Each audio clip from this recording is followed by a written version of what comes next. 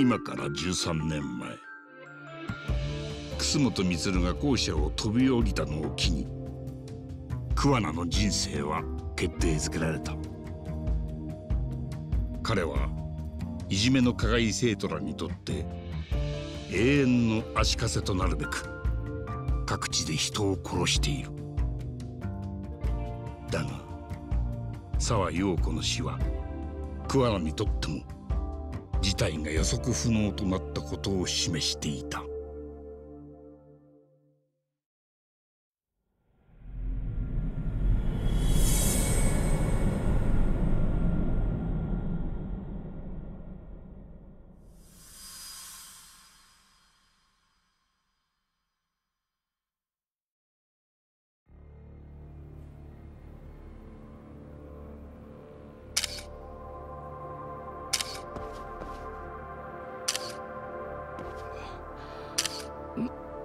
何やってんだ？てめえ。顔と身元は抑えさせてもらったよ。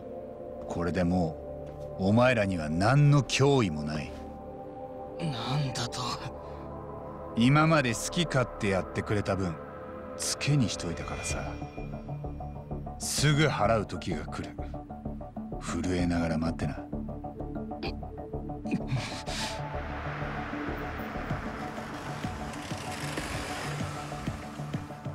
お迎えが来たよ間宮さん。またさっきのゲーセンに戻るの？ああ。恨むんなら一人だけ逃げた。先生を恨むんだね。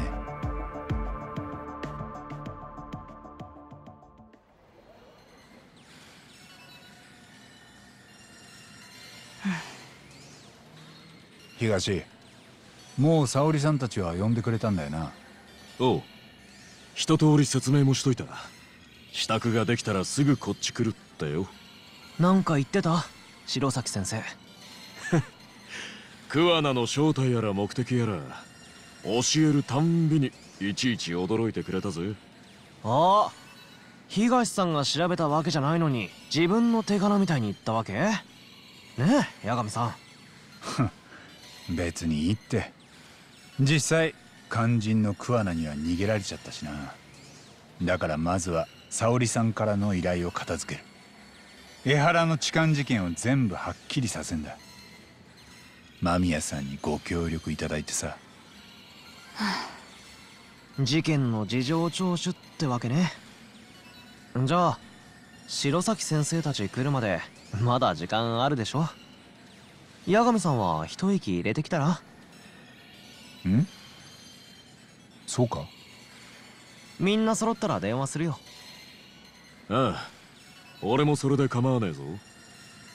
そういや東。カムロ町で何か変わった様子は？RK の連中はどうしてる？ああ。それなら昨日あたりから妙におとなしいってうちのもんが言ってた。頭の相馬と阿久津が偉人町の方に行ってるわけだからな。くそ。あいつら今度戻ってきたらただじゃ済まさねえ。怪盗の兄貴がやられた分は俺がきっちり返してやる。返しってもう極道やめたんじゃなかったっけ？極道として言ってんじゃねえ。人としてやらなきゃならねえけじめだろ。その考え方が極道っぽくない？じゃあ人として取らなきゃならねえ敵討ちだうん？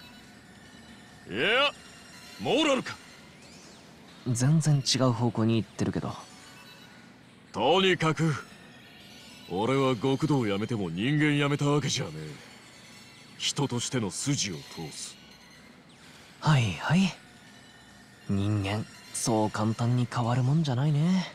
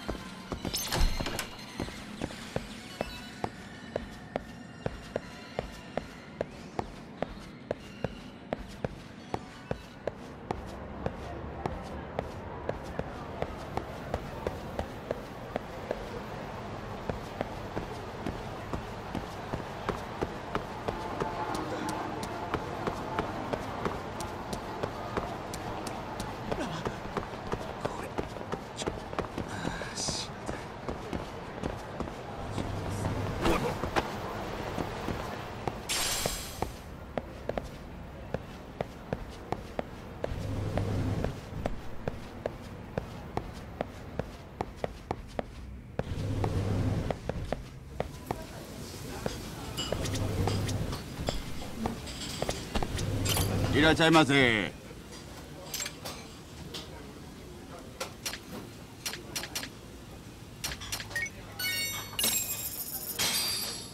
いただきます。ごちそうさま。ありがとうございました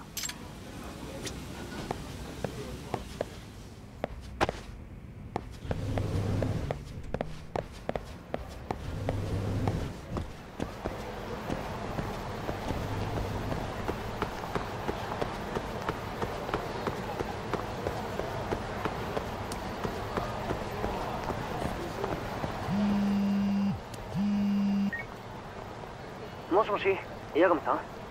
杉浦。ああ。白崎先生たちがシャルルに着いたよ。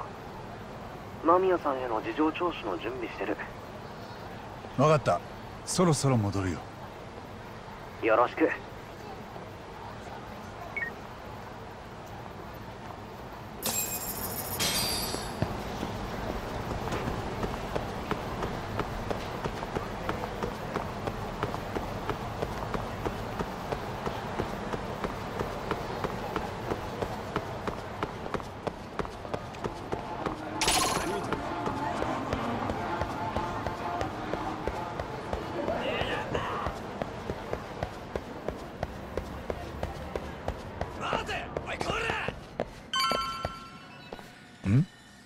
あれ源田先生まで？なんだよ。俺にいられちゃ迷惑か？まさか。そんなつもりで言ってませんよ。うちの沙織君がコケにされたんだ。どんな相手か面を拝んでやろうと思ってな。何なの？こんなに大勢で。お待ちしてました八神さん。これから例の痴漢事件について間宮さんから真相を伺っていきます。ああ。それと改めて沢先生のことはお気の毒でした。本当に。彼女は桑名が RK に追われてるところへ巻き込まれたように思う。でもその追われてる理由がまだよく分かってない。そいつを探るには桑名の行動を振り返ってみる必要がある。ええってことでまずは例の痴漢事件からだ。間宮さん。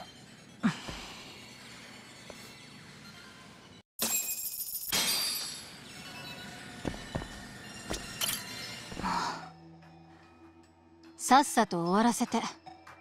あのさふてくされんのはいいけどちゃんと聞くことに答えてよ。江原の痴漢事件は三越場殺しのアリバイを偽装するためのもんだった。で桑名はあんたに痴漢被害者を演じさせ警察から法廷までまんまと出し抜いた。もし間違いがあったら言ってもらえますか？はいはい。電車であなたに痴漢したのは江原さん本人ではなくその替え玉でした。他にも痴漢をでっち上げるために協力者がいたそうですね。そうよその時桑名はどうしてたんだ？偉人町にいたのか？それとも都内の方に？さっきそこのお姉さんが言ってたでしょ？江原さんには替え玉がいたって。うちの先生がまさにその替え玉。桑名が自分で江原の替え玉を？この江原が実は桑名だったわけか。そう先生と江原さんは体格がほとんど一緒だったしでなきゃこんなトリック思いつかなかったんじゃない？でも口元の感じとか全然違うよ。本当にこれ桑名さん？あの口元は作り物。江原さんの顔をスキャンして 3D プリンターで作ったんだって。はあは 3D プリンターってのは？えー、PC 上で作った形のデータを実際に液状の樹脂とかで実体化する機械です。例えば人の顔も PC が形を読み取れば 3D プリンターで精密に再現できます。うーん。私もよくは知らないけどそれを使って先生は江原さんになりすましてた。こんなのですよね。ほら 3D プリンターさえあれば簡単にこういうものが作れてしまうんです。なんだこりなるほど。目はサングラスで隠してるし顎のつなぎはマスクでごまかしてる。いやすごいですよこれ。むしろ口元がはっきり見えてるもんだから別人だなんて思ってもみませんでした。そりゃあたかが痴漢と思ってたら検察もコロッと騙されちゃいますよ。感心してる場合じゃありません騙されたのは我々弁護人も同じです。あですよね。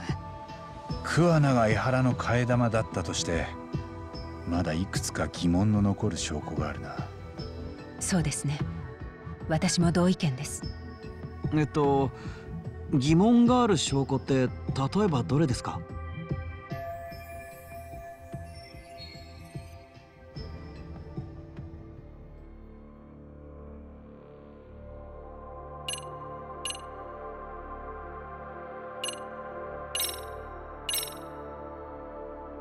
これはどう見たらいいのかな？この映像で取り押さえられたのは江原さん本人。替え玉をしてた先生はこの場面より前に人混みの中で江原さんとすり替わったの。そうだよな。こんなにバッチリ取り押さえられた後じゃもうすり替われない。グラサンも取られちゃってるし。ちなみに江原さんを転ばせたのも私たちの仲間このスマホ動画を撮った人もね。もし誰も捕まえようとしなかったらこのまま逃げ切れちゃうでしょ？でも重要なのは江原さんが現行犯として大勢の前で捕まること。そうか。出ないとせっかくの殺しのアリバイが水の泡になる。ええ。要するにこの痴漢事件は組織的で計画的桜だらけの手品だったってことか。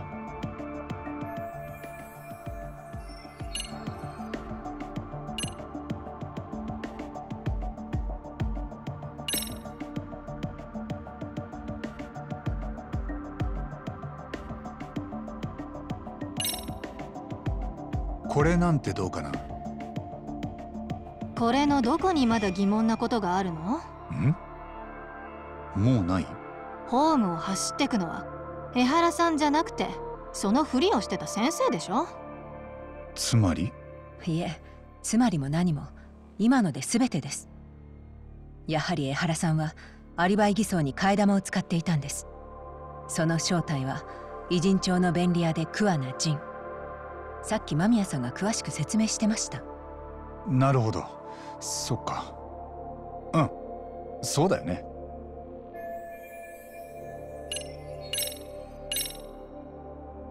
あんたはこれを見てどう思うんだ？やめてよ。なんで目そらす？あんたはこれをアシストするために痴漢の被害者を演じたんだろう。そうだけど。この動画は誰がネットに上げた？先生。最初から江原さんに有罪判決が出たらネット上に公開するって言ってた。それも含めて全部計画通りか。そう。先生はいじめ加害者に甘すぎる方が許せない。それは江原さんも同じ。息子さんの自殺が原因不明で片付けられちゃった人だし。だからあの人たちは今回の計画を立てたの。法廷で証明された痴漢行為を殺人のアリバイにする。しかもその時殺すのは罪に問われなかったいじめ加害者。それでこれ見よがしに罪を逃れてみせたら世間はどう思う？桑名と江原の本当の狙いは法を嘲笑ってやることか。すると彼らの狙いはうまくいってるようですね。法廷は警察まで巻き込んでみっともなく動揺してますから。やっぱり江原は捨て身だったんだな。自分の罪を逃れることは二の次で法を恥ずかしめるために痴漢の汚名まで来てみせた。ええ。警官だった江原がそこまで思い詰めたんです。息子に死なれたのに誰もその責任を取らず裁判所も臭いもんに蓋するような判決を出した。だから桑名と一緒に動いた。察するにあまりあるってもんだ。ええ。いいコンビだよね先生と江原さんはもう失うものがないから。私たちだけがリスクに怯えて協力させられてる。今もそう。もう終わりにしてくれない。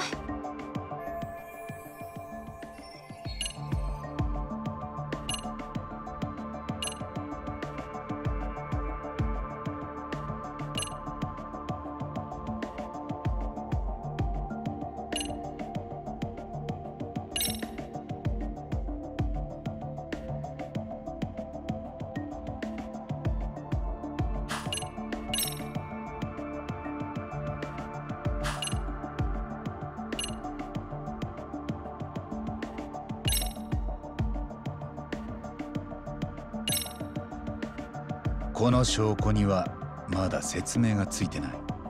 これって。警察は江原を捕まえた後手の付着物を調べてる。でその微物検査によると江原の手から間宮さんの下着と同一の繊維が出た。ええ。痴漢を替え玉にさせてたなら江原さんは間宮さんに触ってないはずです。なのに江原さんの手には接触を示す証拠が残っていたおかしいですよね。ここにも何か細工があったのかな？そんなの簡単。私電車に乗る前ホームの地下で本物の江原さんと会ってたんだから。そこで手にしてた自分の下着を江原さんに触らせたの。微物検査の繊維はその時のもの。あとはその下着を私がトイレで履いたらおしまい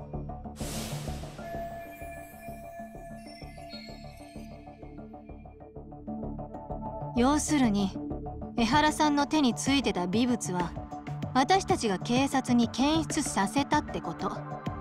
痴漢の動かぬ証拠としてね。法廷じゃみんなそれをありがたがっちゃって。笑いをこらえるのが大変だった。だいぶ口が滑らかになってきたじゃん。その調子だよ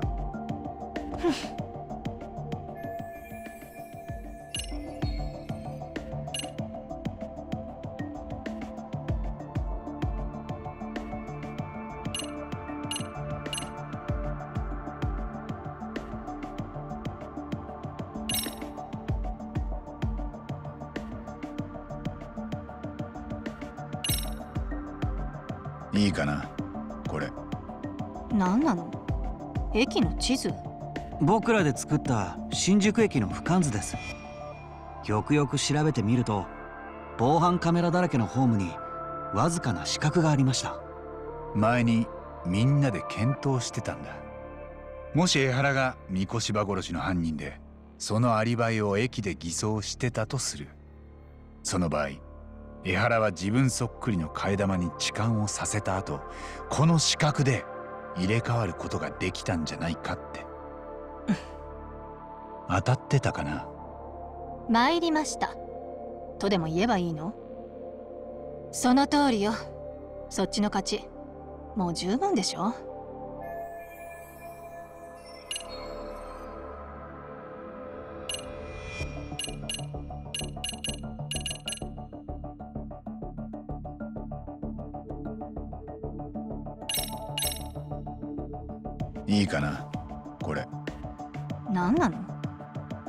件前江原はこのカードを使って池袋の自動改札を通ってる。その時刻が記録されてた。ねえ10月7日の午前7時43分です。ありがとう星野くん。八神さんのお役に立てて嬉しいです。三越場の死亡推定時刻は早くても7時半。もし江原が偉人町で三越場を殺したんならその後13分で池袋まで移動しなきゃならない。はっきり言って無理だ。なんだ？そんなこと？ん？そのカードはあらかじめ先生が江原さんに借りて改札を通したの。そして痴漢騒ぎを起こした後江原さんと入れ替わる時に素早く返した。これでどう？江原さんの手には入場時刻の記録されたそのカードが残るでしょ？改札の入場時刻までアリバイの小道具に？言われてみれば単純なトリックですね。ただそもそも痴漢が殺人のアリバイに利用されるなんて誰も疑いません。ああ。しかも裁判の時はまだ三越場が殺されたことを誰も知らずにいたからな。やってくれるよ。まだ他に何か？八神さんもういいんですか？ああ十分だと思う。痴漢に限って言えば江原は冤罪。少なくとも検察の並べてる証拠は全部ひっくり返せることが分かった。先日の法廷は意図的に誤審を誘導されてたんです。控訴申し立てに動こうと思います。控訴っていうと痴漢の裁判をやり直すってことですか？ええ。そこで江原や桑名のしてきた行動を暴き誤った判決を正さなくては。いやそいつは難しいかもしれんな。どうしたんです？源田先生。何か問題でも？いやそもそもこの間の裁判は江原本人が有罪になるように仕組んでたんだぞ。依頼人にその気がなきゃ控訴なんて無理だ。弁護人だけがいくら控訴申したったって江原がそいつを取り下げちまえばそこまでなんだから。そこは明日にでも江原と話したいですね。けどまずはこっちで揃えた材料に奴がどう反応するかです。そうですね。ではそれはしかるべく。明日拘置所で待ち合わせましょう。分かった。じゃあ今夜はもう解散？ああ。みんなお疲れさん。ゆっくり休んでくれ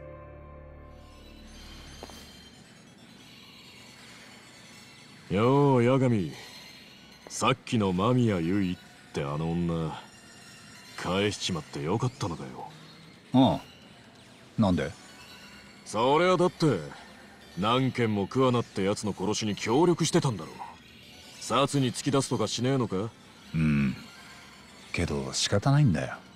仕方ない？実は彼女の言ってた殺しってさ俺らまだ何も証拠をつかめてないんだえ？そうなのか？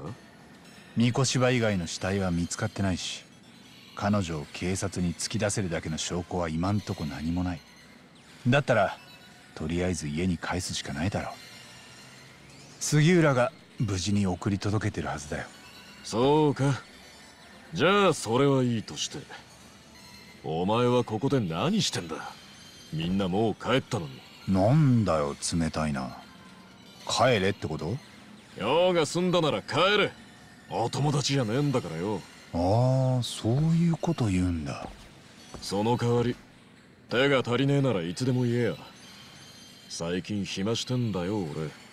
お前が頭下げて協力してくれっつうんなら考えてやってもいい。お前は頭下げなくても助けてくれるから下げ損になっちゃうよ。ごちそうさん。いやお前そこはちゃんと頭下げて頼んでけよ。